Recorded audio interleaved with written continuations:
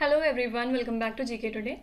And today we'll be discussing most important MCQs for business, economy and banking current affairs from past 60 days.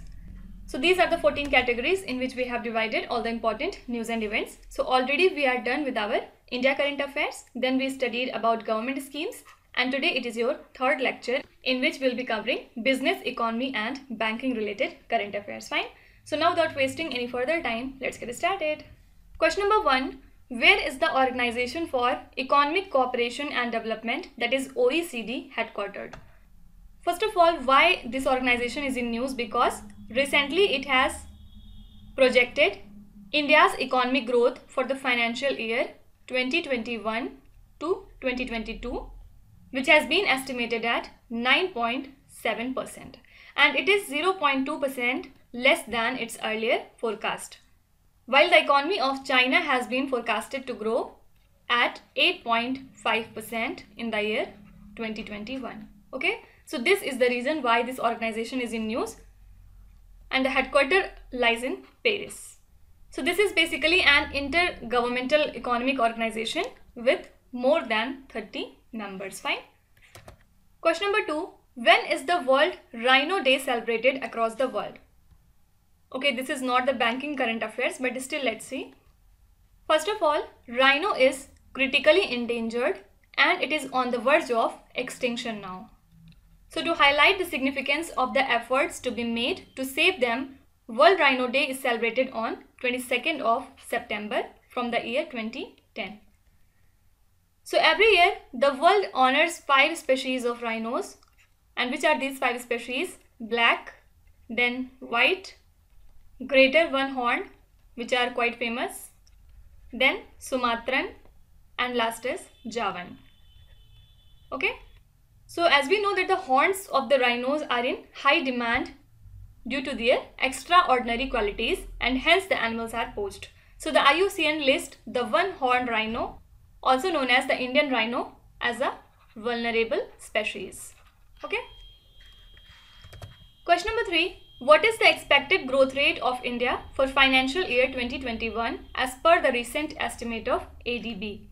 So the Asian Development Bank has slashed India's GDP growth forecast to 10% for the financial year 2021. So actually it has lowered down from 11% which was projected in the month of April and the reason for the rate cut is obviously the disruptions caused by the second wave of COVID-19 pandemic because obviously we know that this wave has impacted adversely our service sector, then domestic consumption and the urban informal sector. And also the economy is projected to rebound in the last three quarters of financial year 2021. Question number 4. With which country India formally launched negotiation on Comprehensive Economic Partnership Agreement? Actually UAE is India's third largest trading partner in terms of value in the year 2019 and 2020. And the trade value has been estimated close to 59 billion USD. Also, it is India's second largest export destination and which is the first one, it is USA. So what happened is recently India and UAE have formally launched negotiation on Comprehensive Economic Partnership Agreement, which is expected to increase the bilateral trade between the two countries to 100 billion USD in 5 years. Okay. Question number 5. National Single Window System for Investors and Businesses has been launched to achieve which of the following objectives? So the Government of India has recently launched the National Single Window System for Investors and Business and this portal is designed to act as a single point of contact for obtaining all approval and clearance for business enterprises and investors. So this would basically enhance the ease of doing business, transparency as well as accountability. Fine. So your correct answer is option number A. And currently approvals across 18 central departments and 9 states have been onboarded to the portal and another 14 departments would be onboarded by December 2021.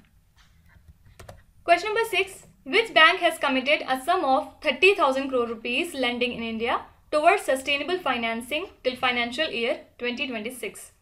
So India's leading private sector bank that is Axis Bank has committed this much amount for lending to sustainable financing till the financial year 2025 to 2026 in line with the sustainable development goals. So this commitment is intended to assist India to reach the SDG targets by the year 2030. Further, the bank intends to make wholesale lending to sustainable development projects which would have positive social and environmental impact. Okay. Question number 7. Zee Entertainment is set to merge with the Indian arm of which company? So Zee Entertainment Enterprises is set to be merged with Sony Pictures Networks India. So for this purpose, a sum of $1.57 billion would be infused into the capital of the merged entity by Sony. And the merged entity would be India's largest entertainment network with more than 25% total viewership in India. Fine. And the shareholding pattern of the merged entity between Zee and the Sony would be 47 is to 53. This ratio is very important. And who will be the MD and CEO of the merged entity? It would be the present CEO of the Zee Entertainment, Puneet Goenka. Fine. Question number 8. The report on deposits with banks is periodically released by which organization? So this report is released by the RBI which states that bank deposits have grown by 11.9% year on year during financial year 2020 to 2021 compared to the financial year 2019 to 20.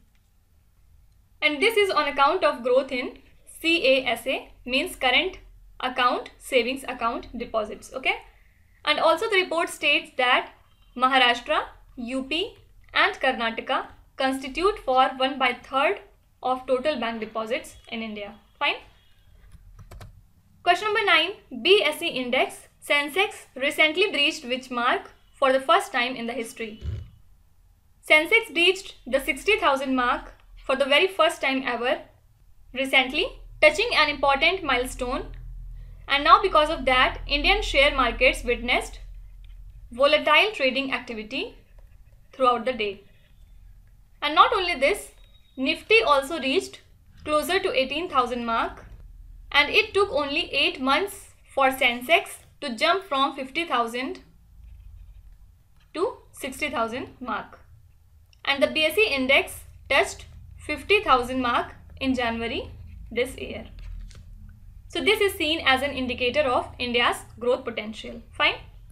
Question number 10. Gold Exchange and Social Stock Exchange, which were in the news recently, are approved by which organization?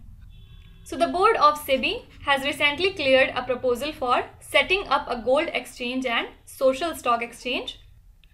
Talking about gold exchange, the metal will be traded in the form of electronic gold receipts and they will be notified as securities.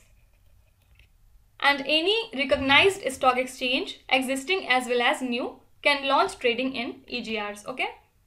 And talking about social stock exchange, it will be operated for fundraising by the social enterprises. Fine. Question number 11. What does P stand for in the PCA framework related with the RBI? First of all, what is PCA? It is Prompt Corrective Action Framework and it refers to the watch list of weak banks by the RBI. After which RBI imposes restrictions like curbs on lending among others on such banks. Fine. So recently what happened is RBI has removed Indian Overseas Bank from the PCA framework because the bank was placed under the PCA framework in the year 2015 and on the basis of the published financial results for 2020 to 2021, the Board for Financial Supervision found that the bank has not breached the PCA parameter. Okay, so here P stands for prompt. Question number 12. What is the external debt ratio to GDP of India as of March 2020? So according to the Union Finance Ministry's status report on India's external debt, the India's external debt to GDP ratio increased marginally to 21.1% from 20.6% as at end March 2020. So India's external debt has risen by 2.1% year on year to 570 billion dollars as of March and 2021. And with this it can be concluded that India is a net creditor to the world. Okay. Question number 13. AU Small Finance Bank has inked an MOU with NABARD for rural development initiatives in which state? So AU Small Finance Bank has inked an MOU with NABARD for rural development initiatives in the state of Rajasthan. And this MOU involves initiatives by the bank and NABARD for benefit of farmers, FPOs, self-help groups, joint liability groups, rural artisans, agri-entrepreneurs, agri-startups and etc. So it will basically increase lending the state especially in areas which are related to agriculture and rural development. Okay. Question number 14. What percent of India's exports is contributed by MSMEs approximately? So actually India has more than 63 million MSMEs and they account for nearly 40% of the India's exports which is about 6.11% of the country's manufacturing GDP. While it also contributes 24.63% of GDP from the services sector. So recently our Union MSME Minister Narayan Rane has inaugurated the India Export Initiative and India Exports 2021 portal of the India SME Forum. So India has fixed its export target of 400 billion USD for this fiscal year and the minister said that MSMEs would further take this target to 1 trillion dollar by the year 2027. Question number 15 which international financial institution has approved a loan of $356.67 million for expansion of Chennai Metro Rail? So this is AIIB means the Asian Infrastructure Investment Bank, the headquarter of which lies in Beijing. So the bank has recently approved financial assistance in the form of a loan to support the Chennai Metro Rail and this financial assistance would be utilized for the construction of phase 2 development which basically aims to provide an integrated connectivity between suburban rail, bus stations and the airport. Fine. Question number 16. Which institution publishes the Global Financial Stability Report semi-annually? So this report is a semi-annual publication by IMF means International Monetary Fund which gives detailed review on the stability of global financial markets.